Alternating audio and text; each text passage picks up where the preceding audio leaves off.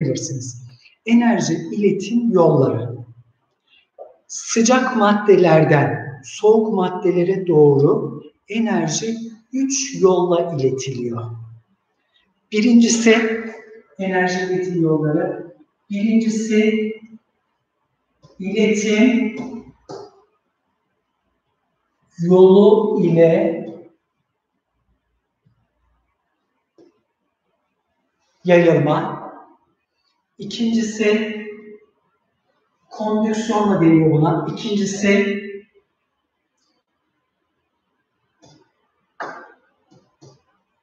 taşıma ya da konfeksiyon değil, konveksiyon.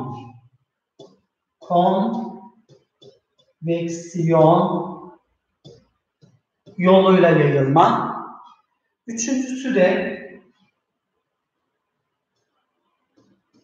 ışıma ya da radyasyon yoluyla yayılma. Isı enerjisi, enerji sıcak maddelerden daha az sıcak yani daha soğuk maddelere doğru üç yolla yayılıyor. İletim yoluyla yayılma daha çok katılarda oluyor. Sıvılarda da oluyor da sıvıların iletim yoluyla yayılma e, miktarı az. Isı iletkenlikleri az. İkincisi taşıma konveksiyon yoluyla yayılma. Taşıma yoluyla yayılma da sıvı ve gaz maddelerde oluyor, katılarda olmuyor. Üçüncüsü ışıma yoluyla yayılma katı, sıvı, gaz fark etmiyor. Sıcak maddelerden soğuk maddelere doğru elektromanyetik dalgalar şeklinde enerji yayılıyor. Şimdi birincisine geç. Birinci şeyi açıklayalım, anlatalım. Bir, iletim ya da konveksiyon yoluyla yayılmada şöyle oluyor çocuklar. Bir tane şöyle bir cisim alalım. Herhangi bir madde. Bu maddenin moleküllerini taneciklerinde şöyle gösterelim. Modelleyelim. Böyle böyle modellemiş olalım. Böyle tanecikler var ve katı moleküllerde tanecikler birbirine nasıl sımsıkı bağlı. Bağlar birbirine yakın ve bu maddelerin bir bağlar arasında potansiyel enerjisi var. Aynı zamanda bir de nesi var? Kinetik enerjileri var. Kinetik enerjilerinin olması demek taneciklerinin titreşmesi, hareket halinde olması demek.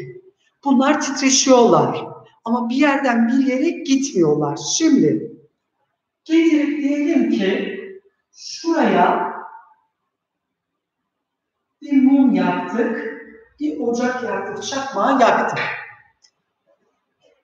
Çakmağı yakınca, çubuğu ısıtınca ısınan moleküller iki şey oluyor. Bir, sıcaklığı arttığı için daha hızlı hareket ediyor. Daha genliği büyük hareketler yapıyor, titreşimler yapıyor. Ve ne oluyor? Bu daha hızlı titreşince iki yanındaki moleküle çarpıyor ve yanındaki molekülü de titreşimleye hızlandırmaya çalışıyor. Yavaşken hızını artırıyor sıcak yönü. Bakın geldi, ısındı, ısınan bu moleküller daha hızlı hareket etti, titreşti ve yanındakilere çarptı. Yanındaki moleküller de yanındakilere, bu da yanındakine, bu da yanındakine derken sıcak, burası sıcaktı, burada sıcaklaşmaya başladı. Yani ısı bir uçtan diğer uca enerji iletilmiş oldu. Fakat burada unutmayacağız. Şuradaki herhangi bir molekül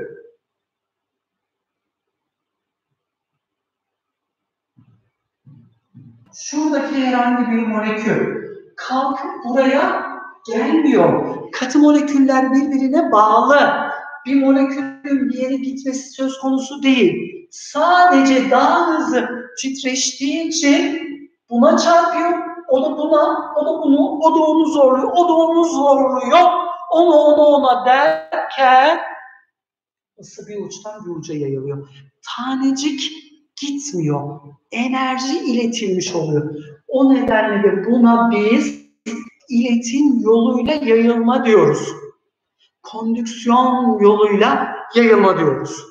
Yalnız her madde aynı çabuklukta, aynı hızda enerjiyi iletmiyor. O zaman şunu söyleyebilir miyiz? Isı iletkenliği maddeler için ayırt edici bir özelliktir. Bakın örnek vereyim.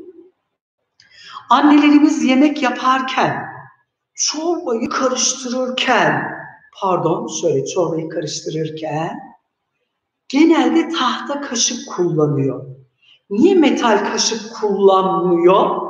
Çünkü metal kaşık kullansa çorbanın içinde kalan kaşık ısınacak, sıcaklık eline gelecek değil mi? Isı eline gelecek, sıcak olacak kaşığın ucu ve eli yanacak. Onun yerine ne kullanıyoruz? Ne kullanıyor? Tahta kaşık kullanıyor. Çünkü tahtanın iletkenlik kas sayısı az. Tahta kötü bir iletken. Bundan yararlanarak iletkenlik kas sayısı düşük olan, iyi iletken olmayanlara biz yalıtkan, ısı yalıtkanı diyoruz. Yalıtkan maddeler başka bir yerde kullanılıyor, işe yarıyor. Nerede kullanılıyor? Var mı yazacak olan? Kötü iletkenler yani yalıtkanlar, ısı açısından yalıtkanlar nerede kullanılabilir? İşte yemeği karıştırmak için tahta kaşık kullanıyorsun. Bir tanesi ben söyleyeyim. Evlerimizin içindeki enerji dışarıya gitmesin diye binanın dışını ya da iki tuğlanın arasını bazı maddelerle kaplıyorlar. Taş yünü, can yünü ya da başka maddeler, köpük tarzı şeylerle. Niye? Buna biz ısı yalıtımı diyoruz. Yalıtım malzemesi kullanıyoruz. Niye? Enerjimiz boşa gitmesin, dışarıya gitmesin, boşuna fazla enerji harcamış olmuyor. Duruyorum, diğerini anlatacağım, sonra buna tekrar bakacağız. Isı iletkenliği, iletim yoluyla yayılmada maddenin türü önemli. İletkenlik maddenin türüne göre farklı farklı oluyor. Farklı miktarlarda. İki diyorum. Bununla ilgili bir bakalım. Bakın enerji iletim yolları. Binaların izolasyonunda yapılıyor. Bak amca ne yapmış burada gördüğünüz gibi kaplıyor. Duvarı kaplıyor, yaratıyor. Evet, geliyorum şimdi. İki diyorum. İki. Taşıma ya da konveksiyon.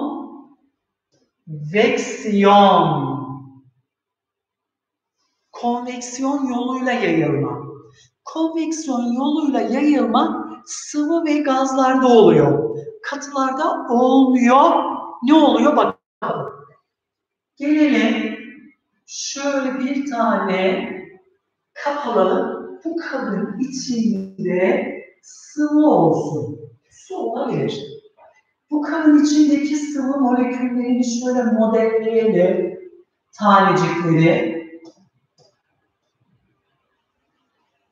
Ve getirip alttan bunu bir ocakla ısıtmaya başlayalım. Şöyle bir şey gerçekleşiyor çocuklar. Isıyı alan tanecikler bir, sıcaklığı artıyor, daha hızlı hareket ediyor.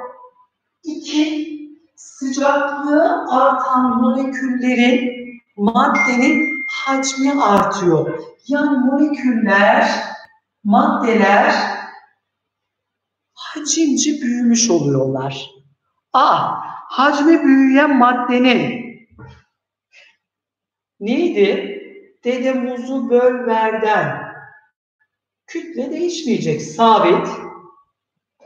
Hacmi artarsa öz kütlesi ne olacak? Azalacak. Öz kütlesi azalan moleküller yukarıya çıkıyor. Yoğunluğu azalan moleküller suyun üstüne doğru hareket ediyor. Yukarıdaki soğuk moleküller de aşağı hareket ediyor. Aşağıdakiler yukarıya, yukarıdakiler aşağıya böyle bir döngü oluşuyor. Artı bu moleküller yukarı çıkarken sıcak, daha hızlı titreşiyor. Yukarı çıkarken düt düt düt çekilin yoldan ben çıkıyorum der mi? Hayır tabii ki. Karşısına çıkan moleküllere de pat küt pat küt ne yapacak? Çarpacak. Çarpınca onları da ne yapacak? Hızlandırmaya, titreşmeye çalışacak. Yani sıcaklığını artıracak. Artı sıcak moleküller yukarı çıktı. Soğuk aşağı indi. Isınanlar tekrar yukarıya, aşağı yukarı böyle bir devri oluşarak su molekülleri ya da kaptaki sıvı ısındı, sıcaklığı arttı, enerjisi arttı. Aa! Ne oldu burada? Tanecik yukarıya çıktı, taşındı, hareket etti. Çünkü sıvı moleküller ne yapıyor? Bağlar gevşek olduğu için katılara göre hareket edebiliyor bağımsız. Bir küçük bir kuvvetle, küçük bir enerjiyle hemen başka yere gidebiliyor. Burada da sıcak moleküller yukarıya çıkınca tanecikler aracılığıyla ısı enerji yayıldığı, iletildiği için biz buna taşıma yoluyla yayılma diyoruz. Taşındı. Enerji taşındı. Bakın bir öncekinde taşıma yoktu. Molekül bir yere gitmiyordu. Gidemez ki katı. Bağlı bunlar. Ama sıvı da gitti. Diyelim ki evde şöyle kalorifer peteğine bakın. Şurada kalorifer peteği var. Şurada. Ben de geldim. Taneciğim hava molekülü. Geldim çarptım. Çarpınca ne oldu? Sıcaklığım arttı. Genleşti. Genleşince ne yaptım? Yukarıya çıktı. Değil mi? Yukarıdaki molekül ne yaptı? Aşağıya indi.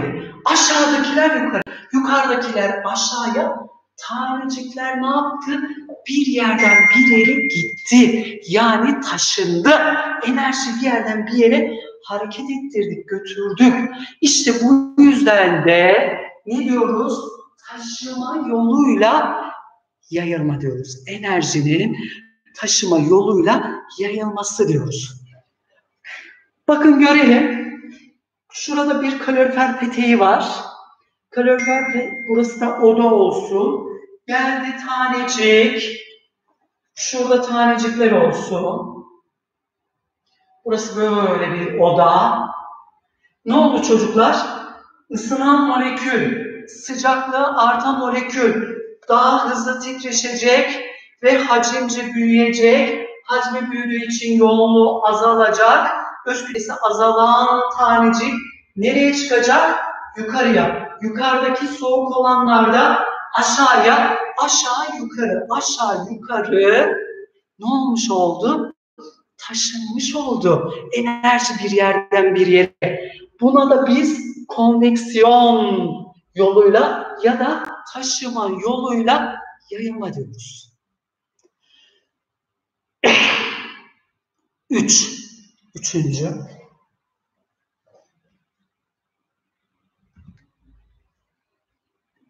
Davut Hocam gelmiş. Ona bir teşekkür edelim. Teşekkürler hocam. Hem de bir nefes alalım. Evet geldik şimdi üçüncü yola. Üçüncü yolumuz da şu çocuklar. Üç, ışıma ya da pardon ya da radyasyon yoluyla yayılma. Onu söylemeden önce şurada da ocağı bir görelim. Biraz önce anlattığım şeyi.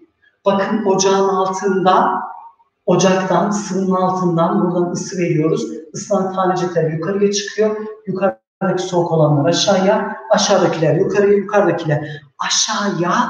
Isınan hava coğrafyada da söylüyor ya hocanız. Isınan hava yükselir. Niye yükseliyor işte? Biraz önce yaptık ya öz kütlesi azalıyor. Azaldığı için yukarıya çıkıyor. Tanecik yukarıya çıktı. Yukarıyı ısıttı, sıcaklığını artırdı, taşındı. Bu yüzden biz buna taşıma yoluyla yayılma diyoruz. Üçüncüsü de çocuklar iletim yoluyla çok özür diliyorum, ışıma yoluyla yani radyasyon yoluyla yayılma. Hem katılarda hem sıvılarda hem de gazlarda oluyor. Sıcak maddelerin etraflarına elektromanyetik dalgalar şeklinde tıpkı ışık gibi, ışık da elektromanyetik dalga, elektromanyetik dalgalar şeklinde enerji yaymasına biz ışıma yoluyla yayılma diyoruz. Radyasyon yoluyla yayılma diyoruz. Tıpkı güneşten dünyamıza gelen enerji gibi. Güneşten çıkan enerji elektromanyetik dalgalar şeklinde yayılarak dünyaya geliyor. Evet. Işıma yoluyla yayılma elektromanyetik dalga. Elektromanyetik dalgalar yoluyla yayılmada, elektromanyetik dalgalar yoluyla enerjinin yayılmasında maddesel ortama gerek yok. Olsa da olur, olmasa da olur. Maddesel ortamda da olur, olmasa da olur. Ama diğerlerinde maddesel ortam gerekiyor. Ya katı ya sıvı ya da katı sıvı ikisinden biri bir şey ol, gaz ya da olması gerekiyordu. Ama burada öyle değil. Burada getiriyorum şöyle bir mum alevi. Burada moleküller olduğunu düşünün. Şuraya da getirdik. Elimizi yukarıdan şöyle tuttuk. Ne oluyor? Isınan moleküller yukarıya çıkıyor, yukarıdakiler aşağıya. Elimize çarpıyor, elimiz yanıyor. yanıyor. Niye? Elimiz ısındı. Isınan moleküller, enerjisi artan moleküller, daha hızlı titreşen, öz kütlesi yoğunluğu azalan moleküller yukarıya çıktı. Taşındı. Biz buradan buraya gelirken yapılan enerji transferi ismini ne diyoruz? Taşıma yoluyla. Ama getirdim elimi şurada yanda. E buradaki molekül böyle gelmez ki. Isınan molekül yukarı çıkar. Sonra yandan aşağı inecek. Yana doğru gitmez. Ama yandan da şöyle tuttuğumuzda ya da şöyle biraz yakından tuttuğumuzda elimizin ısındığını fark ediyoruz.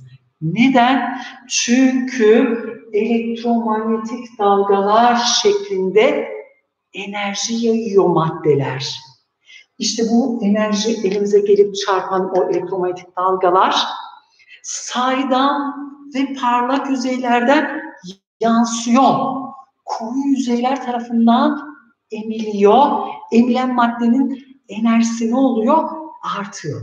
Bu yüzden dikkat ederseniz biz kışın genelde koyu renkli elbiseler giyiniyoruz. Güneşten gelen enerji ne yapsın? Soğursun, ısınalım. Yazın ne yapıyoruz genel olarak? Açık renkli, beyaz elbiseler, giysiler kullanmaya çalışıyoruz. Niye? Terletmesin bizi. Çünkü gelen enerjiyi tutmasın. Zaten büyüklerimiz de öyle söyler değil mi? Siyah giymişsin seni yakar. İşte yakar derken elbise yakmıyor aslında. Ne oluyor? Enerjiyi soğuduğu için yanıyoruz, yanma hissediyoruz. Evet. Bu elektromanyetik dalgalarla yayılmaya e, bir şey söyleyecektim. Güneşten gelen enerji 149,5 milyon kilometre uzaktaki güneşten gelen enerji boşluk, uzay boşluğundan geçiyor, geliyor, maddesel ortam yok, atmosfere giriyor, atmosferde de maddesel ortamda ilerliyor. Maddesel ortam olsa da olur, olmasa da olur. Yayılması için illa maddesel ortam gerekmiyor. Kim için? Elektromanyetik dalgalar için. Elektromanyetik dalgalar şeklinde enerjinin iletilmesi için. Evet, şimdi devam edelim. Bakın burada da yine böyle bir örnek veriyor. İşte biz bu güneşten gelen hatta elektromanyetik dalgaları ne yapıyoruz? Ee, ısınmada, su ısıtmada kullanıyoruz. Elektrik üretmede güneş panelleri, panelleriyle hem elektrik hem ısı e, üretiminde ısı enerjisi suları ısıtmakta kullanıyoruz güneşten gelen enerji. Bir şey daha söyleyeceğim. Son günlerde görmüşsünüzdür. Uzaktan ne yapıyorlar? Böyle tabanca şeklinde hastanelerde de görmüşsünüzdür. Sıcaklık ölçüyor. Aa sıcaklık insanın sıcaklığını ölçüyor. Nasıl? Bakın. Bu biziz. Ben derslerde söylüyorum ya. Çocuklar sizler de kalorifer peteğisiniz. Hepimiz. Bizim vücut sıcaklığımız 36-36,5 derecede ortalama. Sıcak kanlı insanlarız, canlılarız ya da öyle söyleyelim. Yediğimiz besinlerden bir enerji üretiyoruz ve bu sıcaklığımız ne kalıyor? Hemen hemen sabit kalıyor. Ama ölsek öyle değil tabii ki. Şimdi bakın, bizim bir enerjimiz var ve biz etrafımıza soğuk olduğunda, soğuk hava soğukken etrafımıza ne yayıyoruz? Elektromanyetik dalga yayıyoruz. O dalgayı da böyle bir cihazla ne, ne yapıyor? Algılıyoruz ve sıcaklık ölçüyoruz. Yayılan elektromanyetik dalganın frekansına göre, enerjisine göre sıcaklığı belirliyor. Ya da geçiyorum. Televizyonlarda görmüşsünüzdür. Termal kamera, gece görüş kamerası. Kapkaranlık bir ortam. Termal kamerayla bakıyorsun. Yeşilimsi bir şeyler görüyorsun. Aa, adam görüyorsun hareket ediyor. E, nasıl oluyor? Karanlık normalde göremiyorduk. Çünkü adamdan yayılan bu elektromanyetik dalgaları kamera enerji, o enerji termal kamera, gece görüş kamerası, ısıya duyarlı kamera alıyor. Bizim görebileceğimiz, gözümüzün algılayabileceği başka bir elektromanyetik dalgaya çeviriyor. Biz de görmüş oluyoruz. Eğer biz elektromanyetik dalga yaymasaydık ya da maddeler elektromanyetik dalgalar yaymasaydı termal kamera baksın dursun. Hiçbir şey olmazdı. Demek ki biz bile, biz canlı insanlar bile etraflarına enerji yayıyorlar. Yaydıkları enerji nasıl? Elektromanyetik dalgalar şeklinde, radyasyon şeklinde. Buna da ısı enerjisinin, enerjinin yayılma yollarından bir tanesi üç dedik. Geldik katı maddelerde enerji iletim hızı. Katılar için. Hani üç şey demiştik ya, katılarda iletim tanece tanece iletiliyordu ama bazı maddeler çok iyi iletirken bazıları iletmiyordu. Annelerimiz çorbayı karıştırırken tahta kaşık kullanıyordu. Niye? İyi iletken olmadığı için. İyi iletken istemiyoruz çünkü. Evet. Gelelim katı maddeleri, katı maddelerin ısı, iletim hızı. Çocuklar ısı, iletim, hızı, enerji ya da enerji diyelim kısaca, enerji diyebiliriz.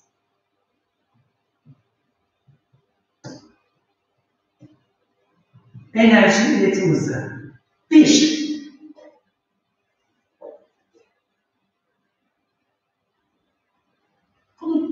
defterinize bakarsınız ya da şeyde gösterebilirim. Bir, maddenin türüne, cinsine bağlı ayırt edici bir özellik olan ısı iletkenlik kas sayısı ile doğru orantılı.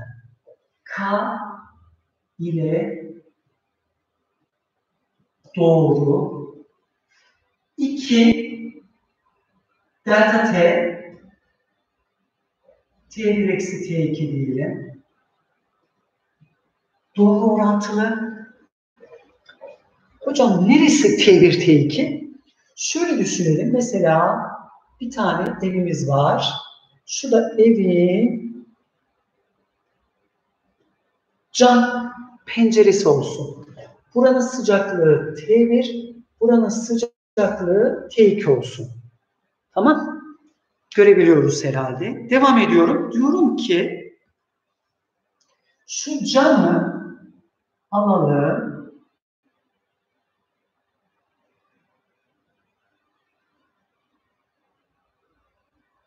Şöyle çizmiş olayım. Şuranın sıcaklığı T1, buranın sıcaklığı T2.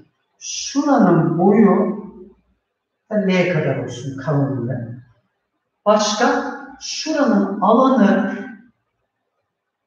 önce şuraya yazayım sonra pardon. 3 sıcaklık farkıyla içerisi ve dışarısı A ortamıyla B ortamı arasındaki sıcaklık değil, sıcaklık farkıyla doğru 3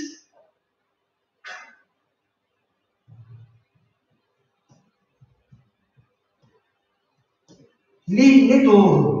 L ile doğru dediğimiz ısının geçtiği yol, hareket ettiği mesafe, ısı bir ortamdan diğer bir ortama geçerken kat ettiği mesafe. Bakın diyelim ki burası sıcak olsun. Sıcak. Burası soğuk olsun. Isı nereden nereye geçecek? Sıcaktan soğuğa geçecek. Şu geçtiği yol şuranın genişliğini, uzunluğuna, mesafesini biz L diyoruz. İle doğru orantılı. Şu ana kadar yazdığım üç şey var. Üç değişken var. Üçüyle de doğru orantılı. Peki devam ediyorum. Dört diyorum. Çok özür diliyorum ya. Yanlış söyledim. Şunu A yapıyorum. İnanılmaz bir hata yaptım. Özür diliyorum çocuklar. A. Şuranın kalınlığı, alanı, yüzey alanı, şu camın alanı alanıyla doğru orantılı. 4 L ile çocuklar özür, özür diliyorum. Ters orantılıdır. L ile ısının gittiği, enerjinin gittiği, kat ettiği mesafeyle ters orantılı ne? Isı, iletim, hızı. Bunun bir tane formülü var. Formülde yazıyorum. Delta Q bölü delta T eşittir K çarpı A çarpı delta T bölü buna da L diyoruz. K, A, delta T bölü L. L ile ters orantılı, ısı iletkenli kassayla doğru orantılı, yüzey alanıyla doğru orantılı, e, sıcaklık farkıyla doğru orantılı. Yani içerisiyle dışarısı arasındaki sıcaklık farkı fazlaysa ısı hızı fazla. Eğer şu camın yüzey alanı ne kadar büyükse ısının geçişi, geçiş hızı, ısı iletim hızı fazla. Çok kolay geçer. Bir düşünün küçücük bir pencere düşünün. Bir de kocaman bir pencere düşünün. Kocaman pencereden ısı geçişi daha kolay, daha hızlı. K'da iletkenlik katsayısı iyi iletkense hızlı, kötü iletkense yavaş.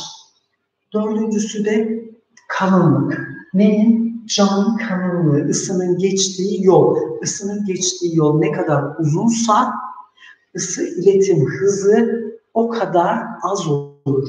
Yani ters orantılıdır. Ben mesela eski tarihi binalarda görmüşsünüzdür, ben de gördüm. Duvarların kalınlıkları şu kadar çok kalın. Duvarlar kalın olduğu için ısı iletim hızı yavaş. Dolayısıyla Kışın içeriden dışarıya enerji geçişi yavaş olduğu için ev hemen soğumuyor. Yazında tam tersi dışarıdan içeriye ısı geçişi yavaş olduğu için yazında serin oluyor. Kışın daha sıcak, ılık en azından soba yakmanın belki durdurabilecek durumda. Kışında serin oluyor klima kullanmadan ama duvarların kalınlığı belki şu kadar kalınlıkta. Hatta içinde insan oturabilir. Tekrar söylüyorum. Delta Q bölü delta T. Q enerji, T zaman, birim zamanla geçen enerji miktarı. Birim zamanla geçen enerjiye biz ısı iletim hızı diyoruz. Isı iletkenlik kas sayısıyla doğru. Yüzey alanıyla doğru. Sıcaklık farkıyla doğru.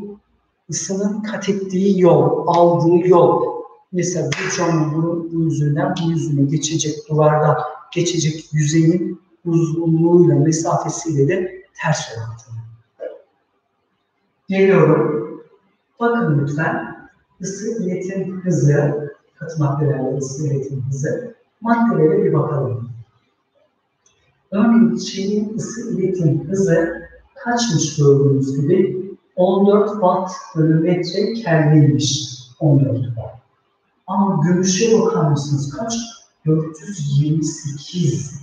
Yani eğer gümüşten, evimiz gümüşten olsa kışın evimizi ısıtamayız yani zor.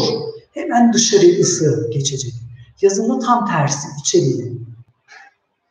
Peki havanın ısı iletkenliği kaç?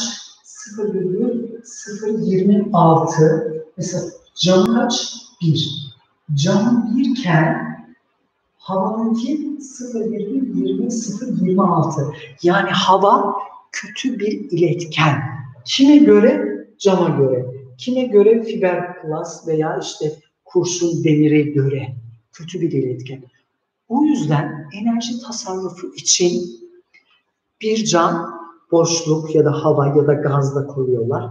Arada boşluk var, hava var ya da arada bir tane daha cam var, iki cam var. Çift cam yapılıyor. Niye? Isı iletkenli kas sayısı bunun bir ama havanın kaçmış, havanın da 0,026 yani üçte biri neredeyse gördüğünüz gibi. Peki devam edelim. 30'da biri hava. Peki mesela poliüreten küpük küpük kullanıyorlarmış gördüğünüz gibi. 0,0 taş yünü ya da fiberglass da kullanıyorlarmış. Onların da ısı iletkenlik kas düşük. Düşük olduğu için de ısının çabucak gitmesini, iletilmesini engelliyor. Yani iletmiyor daha doğrusu. Kötü iletken, kötü iletken olduğu için biz bunları yalıtım malzemesi olarak kullanıyoruz. Biraz önce yazdığımız formül delta Q bölü delta T K çarpı A çarpı delta T bölü V. Ben buna katil diyorum da hani güzel bir kelime olmadığı için çok da söylemek istemiştim. K ile doğru orantılı, A ile doğru orantılı, sıcaklık değişimiyle doğru orantılı ama L ile L iletim doğrusundaki mesafeyle ters orantılı. Enerji tasarrufu Çocuklar enerji tasarrufu e, hem ülkemiz için hem dünyamız için hem gelecekteki insanlar miras bırakacağımız bu dünyayı miras bırakacağımız insanlar için önemli. Enerjisiz yaşayamıyoruz. Enerjiye ihtiyacımız var. Vücudumuzun da ihtiyacı var. Aldığımız besinlerden enerji üretiyoruz. Televizyonlarımız, arabalarımız, evimizdeki elektrikli aletler, günümüzde kullandığımız birçok şey neyle çalışıyor? Elektrikle yani enerjiyle çalışıyor. Işık, ışık enerjisi. İşte bu gördüğünüz akıllı tahta enerjiyle. Biz bu enerjiyi mümkün olduğunca dikkatli kullanmalıyız ve tasarruf yapmalıyız. Tasarruf etmeliyiz. Onun için de mesela biz ürettiğimiz şu anda kullandığımız enerjilerin yüzde 87'sini fosil yakıtlardan, yüzde 13'ünü de yenilenebilir kaynaklardan, enerji kaynaklarından üretiyormuşuz. Bu yıldan yıla değişebilir sayılar. Enerji ünitesinde anlatmıştık. Fosil yakıtlar, işte petrol değil mi? Bakın petrol, doğalgaz, kömür gibi. Kömür alıyoruz, veya doğalgaz alıyoruz. Termik santralde onu yakıyoruz. Kimyasal enerji neye dönüşüyor? Isı enerjisine bir enerjiye dönüşüyor. Onu suyu ısıtıyoruz. Isıttığımız su buhar yapıyoruz. Pervaneyi çeviriyor. Çevirilen o pervane manyetik alan mıknatıslar, bobinler yardımıyla elektrik enerjisi üretiliyor. Ama bir, şey, bir şeyler harcıyoruz. Harcarken bunları fosil yakıtları kullanırken karbonmonoksit, karbondioksit gibi atıklar oluşuyor. Onların külleri veya atık malzemeleri oluşuyor. O yüzden tasarruflu kullanmamız gerekir. Hem kendimiz için hem gelecekteki insanlar için. Bunlar için de elimizde alacağımız bir takım basit önlemlerle enerji tasarrufu yapabiliriz. Bunlardan en önemlisi, en önemlilerinden birisi alacağımız cihazları bundan sonra A serisi ya da A artı, A plus, A plus plus seçmemiz. Binalarımızın içini, dışını, ortasını neyse ısı yalıtım malzemeleriyle kaplamamız gibi.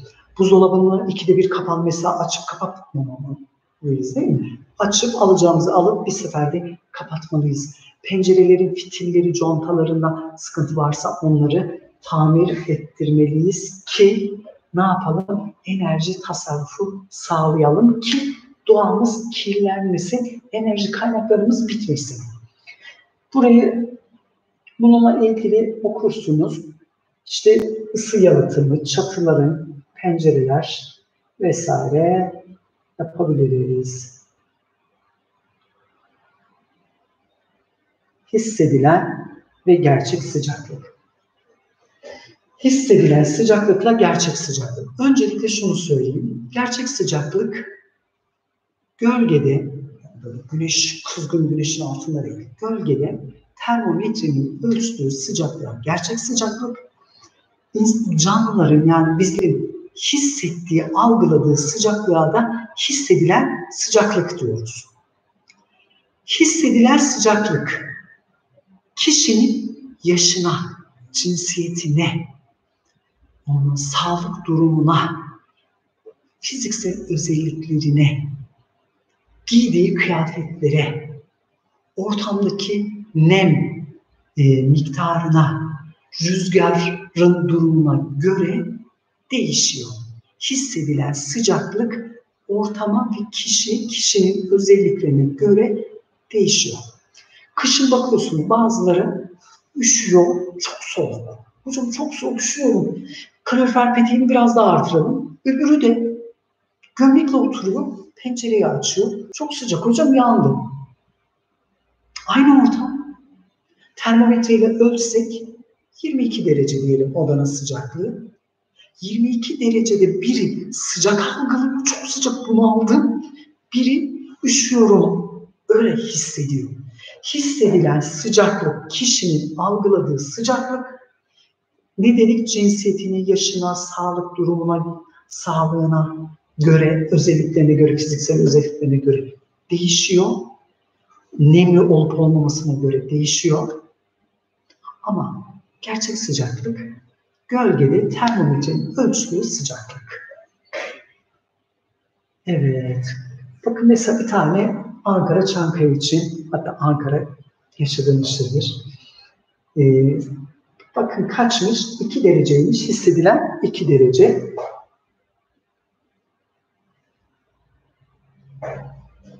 Ama sıfırmış, hissedilen eksi dörtmüş. Eksi birmiş, eksi dörtmüş, sıfırmış, eksi üçmüş. Hissedilen sıcaklık kişinin özelliklerine göre ya da ortamın özelliklerine göre değişebilir. Devam ediyorum. Küresel ısınma. Fabrikaların, insanların, evlerin kullanmış olduğu fosil yakıtlar, kullandığı deodorant, parfüm gibi e, malzemeler, ürünler ortama yayılıyor ve atmosfer atmosferi kaplıyor. Bu atmosferde bir tabaka şeklinde oluşuyor. Bunun sonucunda da güneşten gelen ışınlar dünyaya çarpıyor bir kısmı soğuruluyor, bir kısmı da geri yansıyor. Yansıyanların yansıyanların bir kısmı atmosferden çıkıp gidecekken atmosferde bu sera etkisinden dolayı gazların oluşturduğu tabakadan dolayı gidemiyor, geri yansıyor. Geri yansıdığı için de dünyanın sıcaklığı bir miktarda olsa artıyor. Ve yıllar içinde bu da artmış. İşte bu olaya biz küresel ısınma diyoruz. Bu gazların da atmosferi katlayıp sera gibi davranmasına, sera gibi dünyayı kaplamalarına da biz sera etkisi diyoruz. Bakın diyelim ki şurası dünya. Güneşten ışık geldi. Normalde yansıyıp gidecekti. Enerji geldi gidecekti. Fakat ne var? Atmosfer var. Çünkü ışık geldi, enerji geldi. Gidecekken geri yansıdı. İşte şurası, şu tabaka, şu katman gazlardan dolayı saldığımız fabrika bacalarından işte bayanların kullandığı genelde ya da erkeklerin kullandığı deodorant parfümlerden gibi. Tabii dünyanın eğikliği vesaire onlar da var da insan olarak diyorum. Bu etkisinden dolayı ne yapmıyor? Elektromanyetik dalgalar gidemiyor, hapsoluyor. Sanki şöyle bir tarlamız olsun, tarlanın üstünü böyle naylonla kapıyorlar, bir sera yapıyorlar ya, içeride sıcak hava oluşuyor. Aynı onun gibi sera etkisi oluyor. Bunun sonucunda da dünyanın ortalama sıcaklığı artıyor. Buna biz küresel ısınma diyoruz. Karadeniz havada atmosferden gazların oluştuğu gün boyu artışa küresel ısınma deniyor. Bunu da araştırın. Evet, şimdi genleşme konusuna geçmeyeceğim. Genleşme, genleşmeye geçmeyeceğim. Başka ders anlatacağım.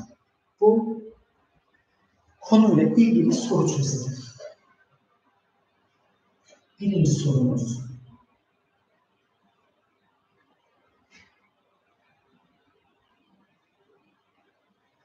L kadar, L kadar, L kadar K maddesi, L maddesi, M maddesi olsun. Şurada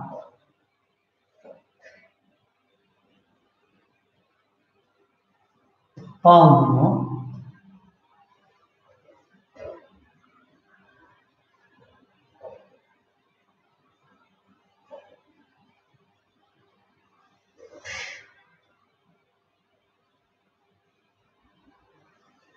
Diyoruz ki çocuklar KN'nin metalleri birbirine yapıştırılmış ve üstlerine de özdeş bal mumları yerleştirilmiş.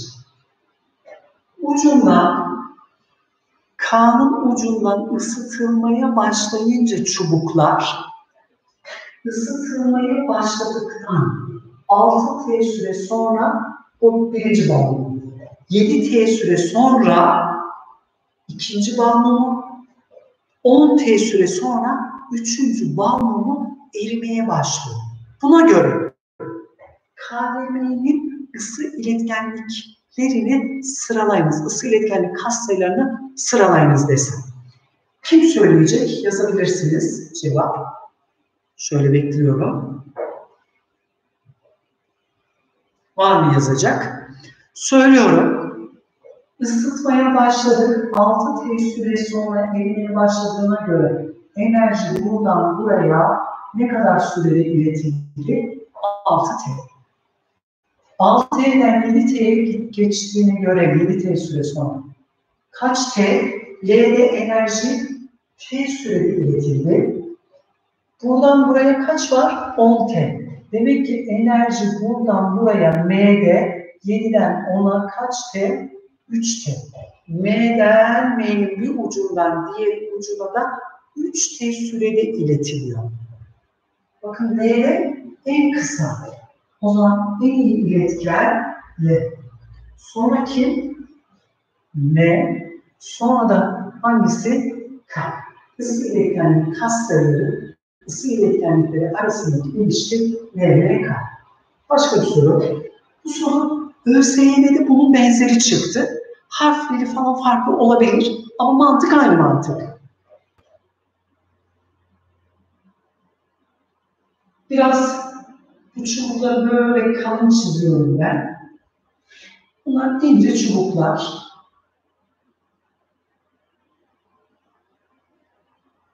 Hepsinin de boyutları aynı.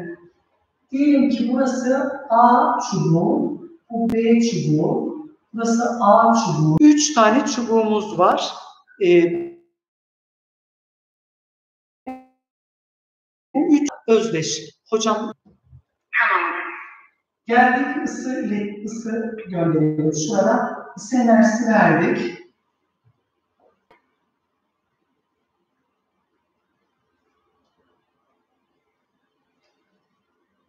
Buna ne diyelim? K diyelim, L diyelim, M diyelim. Bunlar da mumlar. Erimeye başlama sıraları erimeye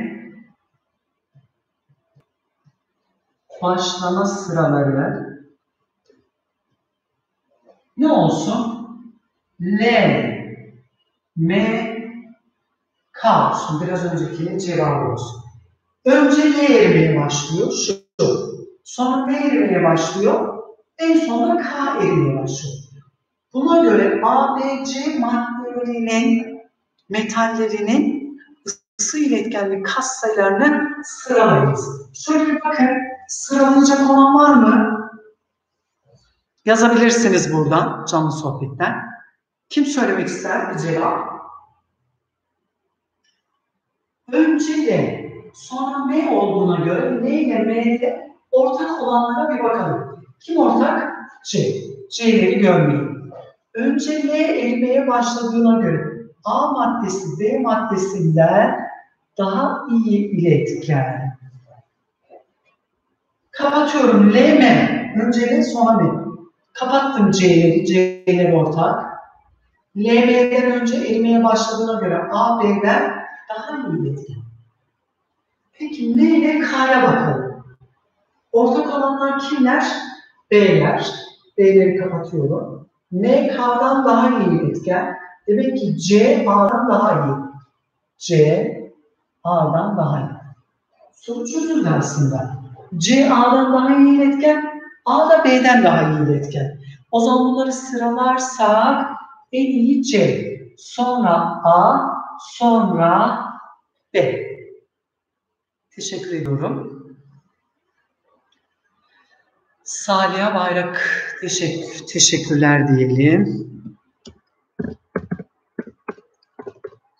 Soruyu anladık mı? ÖSYM sordu. Peki başka bir soru daha yazalım.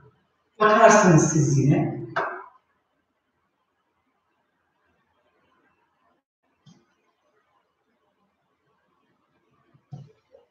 Geliyorum.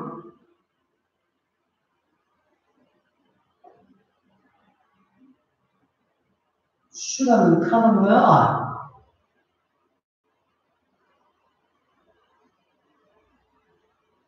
Buranın kalınlığı 2A.